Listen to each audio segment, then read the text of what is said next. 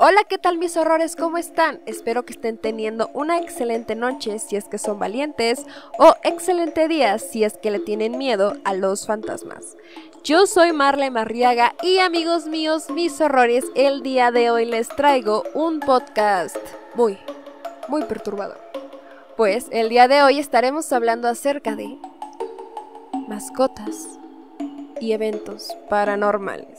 Amigos, las historias que les traigo el día de hoy están impactantes. La mayoría de nosotros hemos tenido una mascota y sabemos que a veces los animales poseen habilidades que nosotros ni siquiera podemos ni imaginar. Así que estaremos hablando un poco acerca de si los animales pueden presentir fantasmas o todo esto tiene una explicación científica. Estaremos abordando ambas posturas, todo con la final de unirnos al debate paranormal. Sin más que decir mis horrores, vámonos con las historias y la información. Y sin más que decir, comenzamos.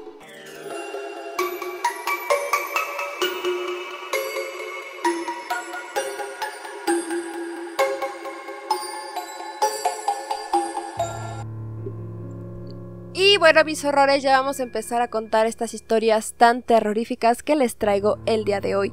Pero antes les dejo una pregunta. ¿Qué harías si tu mascota te hablara? Ya antes habíamos hecho un en vivo acerca de las mascotas y eventos paranormales. Lo pueden checar aquí en el canal después de escuchar este podcast. Y me parece que allí habíamos mencionado algo acerca del experimento de Robert Morris. Aún así lo voy a repetir por aquí para que ustedes también lo escuchen. Pues les cuento. Resulta que durante los años 60, también amigos ya pasó un rato, el psicólogo Robert Morris, investigador de fenómenos paranormales, realizó un experimento en una casa de Kentucky en la cual habían sucedido muertes sangrientas y se decía que habitaban fantasmas. Este experimento consistió en entrar de forma separada con un perro, un gato y una serpiente de cascabel en una habitación donde se cometieron actos de verdad muy crueles. El experimento fue filmado y los resultados fueron sorprendentes. Cuando el perro entró con su cuidador, al avanzar un metro, se le erizó la piel, gruñó y salió huyendo de la habitación, negándose a entrar de nuevo en ella. Por otro lado, el gato entró en brazos de su cuidador. Tras unos segundos, se encaramó en sus hombros y le hirió la espalda con las uñas. Saltó al suelo y se refugió bajo una silla vacía, y desde ahí observaba amenazadoramente hacia otra silla vacía durante varios minutos. Tuvieron que sacarlo del cuarto. Por último, la serpiente de cascabel adoptó una postura a la defensiva o eh, de una forma agresiva como si se enfrentara a un peligro inminente. Su atención iba dirigida hacia la silla que provocó el miedo del gato. Este experimento de Robert Morris se repitió en otra habitación de la misma casa en la cual no había sucedido ningún acontecimiento fatal. ¿Cuál fue el resultado? Que ninguno de los tres animales registró un comportamiento anormal. No sé ustedes qué piensan mis horrores, la verdad es que este experimento fue en los años 60 y también muchas cosas se realizaron en los años 60, aunque pues díganme ustedes qué piensan aquí en la caja de los comentarios. Eh, ¿Creían que iba a ser un chiste acerca de que el gato no le iba a importar eh, lo que había sucedido en esa habitación? Pensé en hacerlo, pero realmente no, porque si no, no podría darles los, los datos como, como tal. Entonces, no amigos, el gato eh, también se asustó muchísimo cuando entró a esta habitación. Hay muchos memes de gatos, por cierto, de que los gatos no les importan sus dueños. De hecho, me acabo de acordar de un video en el que el dueño de un perro finge su muerte y entonces el perro se súper preocupa y cuando el dueño de un gato finge su muerte al gato no le importa. Eh, es algo parecido, algo parecido, pero no, esta vez el gato sí se espantó. Pero bueno, mis horrores, vámonos con la primera historia y muchísimas gracias por estar escuchando. Remanchados de miedo. Hola, descubrí hace poco tu canal y me gustaron mucho tus videos. Te mando esta historia para que la incluyas en tu canal. Nunca se la he contado a nadie, pero te puedo asegurar que es cierta. Hace tiempo yo tenía una amiga a la que quería mucho y que vivía con su mamá. Ella se llamaba Ana María. En aquel entonces teníamos como 13 años y las dos íbamos en la misma secundaria. La mamá de mi amiga tenía varios gatos y perros. Creo que se dedicaba a la brujería.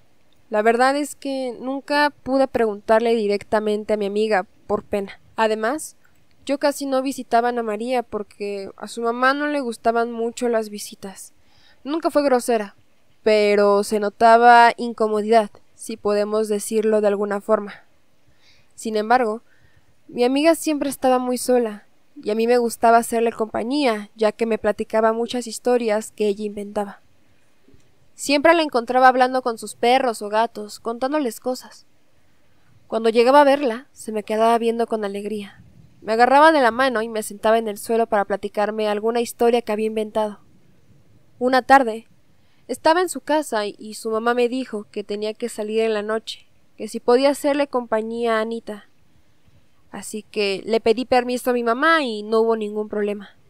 Las dos vivíamos en el mismo edificio y mi mamá estimaba mucho a la mamá de mi amiga. Le dijo a la señora que estaría muy pendiente de nosotras y que cualquier cosa ella estaba ahí. Mi amiga y yo nos pusimos muy contentas de estar más tiempo juntas. La señora nos dejó tamales y atole. Se despidió como a eso de las ocho de la noche, no sin antes recomendarnos que nos portáramos bien, que no tardaría. Como a las diez de la noche, terminamos de ver una película y decidimos irnos a acostar. Ella tenía tres gatos, todos hembras, una blanca, una negra, y la mamá era blanca con negro. En cuanto vieron que nos acostamos, se fueron a meter entre nosotras, ronroneando. Nos quedamos dormidas abrazando a los gatos. Dormí un poco, pero de repente unos ruidos en la casa me despertaron. Le hablé a mi amiga y le dije que su mamá había regresado, seguramente. Nos paramos, y Anita le empezó a llamar, Mamá, mamá, ¿ya llegaste? Nadie nos contestó. Prendimos la luz de la sala y miramos alrededor. No había nadie. Regresamos a dormir. A veces en los departamentos se escuchan ruidos como si fueran dentro, pero son de otro lugar. Nos volvimos a acostar y nos quedamos dormidas, pero luego los gatos empezaron a maullar muy fuerte, como desesperados, arañando la puerta de la recámara, como queriendo salir. No entendíamos lo que pasaba. Anita y yo tratamos de calmar a los gatos que estaban desesperados. Abrimos la puerta y los gatos salieron corriendo. Un viento helado entró en la recámara. Salimos a la pequeña sala y vi la hora en el reloj de la pared. Tres treinta. En ese momento, tres golpes sonaron fuera de la puerta y Anita corrió a abrir. Le grité que no abriera, que tuviera cuidado. Ella volteó a verme justo cuando la gata negra saltaba arriba de un árbol de rascar. De esos juguetes que les compran a los gatos para poder entretenerse. Les juro que solo de acordarme me da pánico. Sus ojos brillaban en la penumbra y su pelo estaba totalmente erizado como si tuviera electricidad. Y oímos una voz, una voz que parecía salir de aquel animal. Ana, Hija, me golpearon mucho, estoy en el hospital. Van por ti, sal de la casa, vete con tu amiga. Yo no podía dar crédito a lo que pasaba.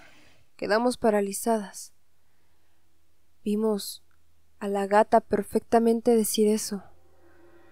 Hasta que reaccioné y jalé a Anita hacia la puerta, pero los golpes al otro lado continuaban más fuerte. Tomé el teléfono que estaba en la habitación y le marqué a su mamá, pero me mandaba directamente al buzón. Fuimos corriendo hacia la cocina y abrimos una de las ventanas pequeñas que daban al corredor del otro lado del edificio, y que a su vez daba a un pasillo que a tan solo unos metros daba a mi departamento. Las dos no dudamos en lanzarnos por aquella pequeña ventana, y Ana se raspó todo el estómago y yo los antebrazos, pero corrimos directo hacia mi departamento. Vimos a mi mamá que ya venía directo hacia la puerta a tocar, y fuertes maullidos nos hicieron voltear hacia en donde se escuchaba que había un hombre tratando de quitarse a los gatos de encima. En este punto de la historia me pongo a pensar que si mi mamá escuchó el sonido, que vaya, estaba algo alejada de este lugar, ¿cómo es posible que los otros vecinos no llamaran a la policía? He llegado a creer que todos pensaron que alguien más lo haría y si es que alguna vez tienen la oportunidad de llamar a la policía, aunque llamen dos veces, háganlo. No saben si alguien más ya lo hizo. Bueno, sigo con el relato. En cuanto llegamos a mi departamento, mi mamá llamó a la policía y una hora después llegaron. Dice mi mamá que al abrir el departamento todo estaba desordenado. La gatita madre, la que era blanca con negro, tenía el cuello roto, pero las demás estaban bien. El hombre se había caído por el balcón del departamento y estaba boca arriba. Tenía toda la cara rasguñada. En efecto, en cuanto intentamos encontrar a la mamá de Ana, estaba en un hospital. Había sido golpeada brutalmente por personas que se sintieron defraudadas y que también prometieron hacerle mucho daño a Ana. Mi amiga y su madre se cambiaron de ciudad debido a esto y jamás volví a verla. Espero que este relato llegue hasta ella y algún día lo escuche y me contacte. Me encantaría saber cómo están a pesar de haber pasado tantos años. Te dejo mi correo por si las encuentras. Gracias por contar mi historia.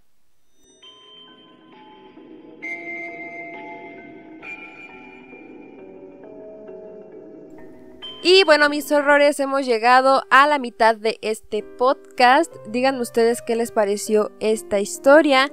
¿Qué harían si es que encuentran a sus mascotas hablándoles. La verdad es que a mí se me daría mucho miedo, creo que no es algo que vendría a venir de ninguna forma, entonces la verdad sí me asustaría muchísimo, déjenmelo aquí en la cajita de comentarios y les estaré contestando en cuanto puedan. De hecho también les quiero recomendar un canal que se llama Mi Pequeño Espanador en donde encontrarán tips para sus mascotas que la verdad estoy segura de que les van a encantar, les dejo el enlace por aquí. Y ahora sí, mis horrores, vamos a estar hablando acerca de la ocasión de el terror de los gatos.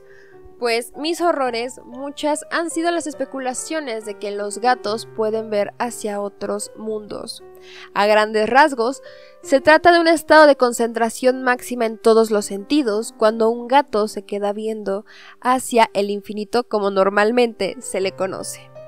De hecho, es porque los gatos están viendo algo que tal vez nosotros no podemos ver y muchas personas lo atribuyen a que seguramente son espíritus o fantasmas o seres paranormales que vienen a visitarlos. Pero hay varias teorías que también son con una comprobación científica, de las cuales ya estaremos hablando un poquito más adelante.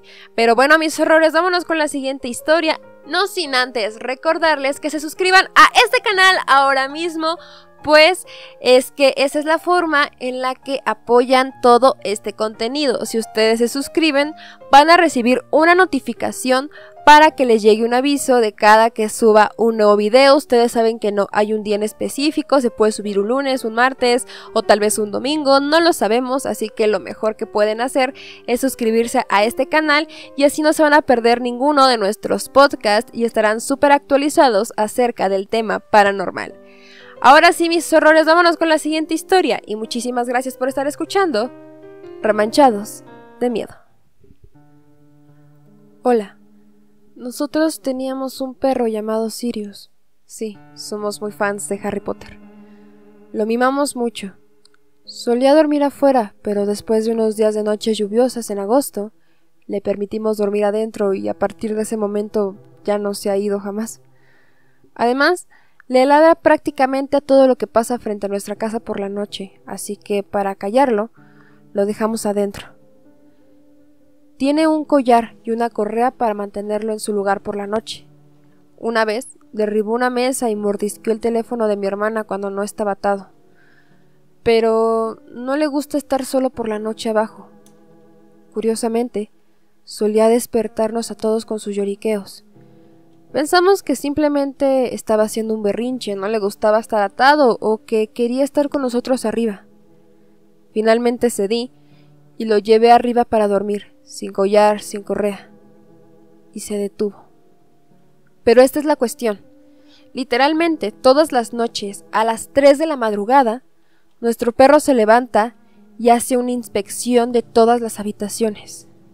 No antes de las 3 a.m. ni después. Se levanta y es como si estuviera buscando algo. Las puertas de nuestro dormitorio siempre están abiertas, por lo que tiene libre acceso a todos lados. Si está durmiendo en la cama de alguien, se inquieta, despierta a la persona y quiere que lo acompañen.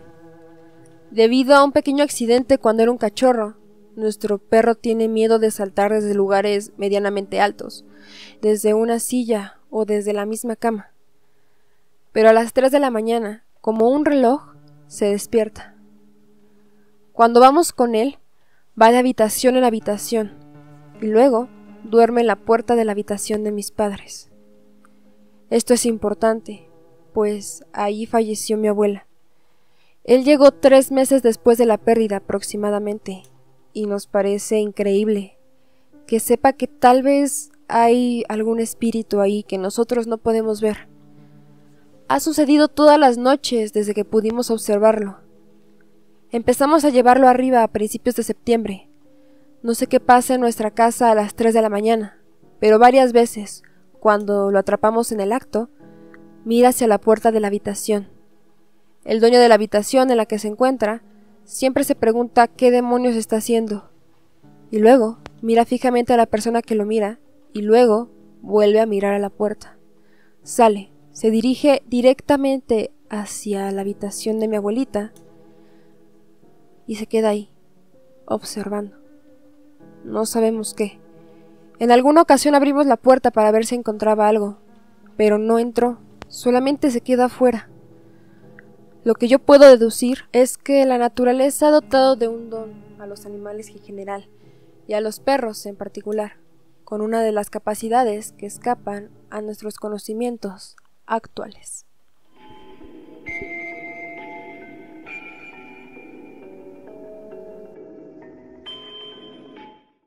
Y bueno, mis horrores, mucha gente como esta persona justamente, cuya historia saqué de Reddit, por cierto, creen sinceramente que los animales poseen un don que nosotros no podemos tener, y es que pueden ver cosas sobrenaturales. No son pocas las historias de animales que han tenido encuentros paranormales, o al menos eso es lo que han contado sus dueños. Pero ahora sí amigos, vamos a estar hablando acerca de algunos datos científicos y es que si hablamos de los animales tenemos que tener en cuenta que tienen sentidos diferentes a los de nosotros. Bueno, no es que sean diferentes, sino que tal vez tienen habilidades un poco llevadas al extremo. Pues lo que ocurre es que el sentido del olfato del perro y también su oído son tremendamente superiores a los mismos sentidos que poseemos los humanos.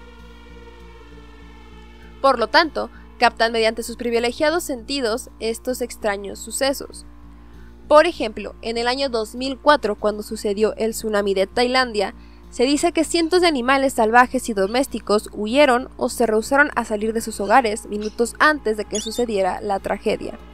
Curiosamente, un equipo de investigadores del centro alemán GFZ para las geociencias ha reunido un total de 180 publicaciones en el que se analiza el comportamiento anormal de algunos animales en las etapas previas a un temblor.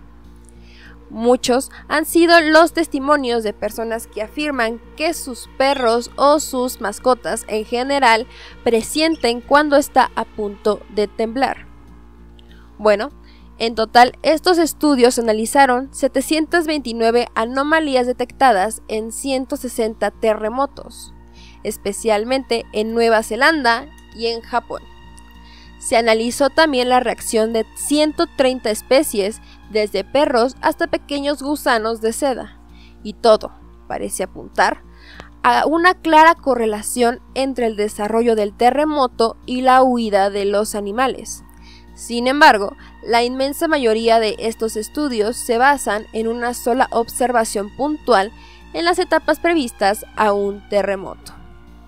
Apenas existen estudios que relaten casos en que un número elevado de animales muestre comportamientos anómalos durante un periodo largo de tiempo.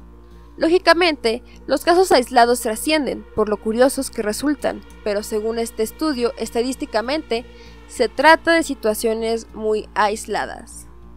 Y por supuesto que no podíamos olvidarnos de los gatos, pues es un hecho que tienen una excelente capacidad auditiva Sus orejas también están diseñadas específicamente para detectar de dónde viene un sonido determinado.